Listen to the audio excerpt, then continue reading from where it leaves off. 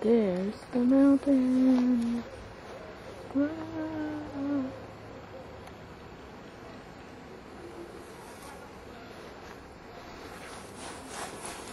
Any words of wisdom? Not yet. Okay. Shirt tucked in.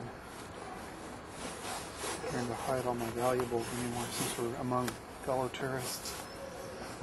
Kind of a spooky train ride though. Why? Yeah, just like a lot of rough characters.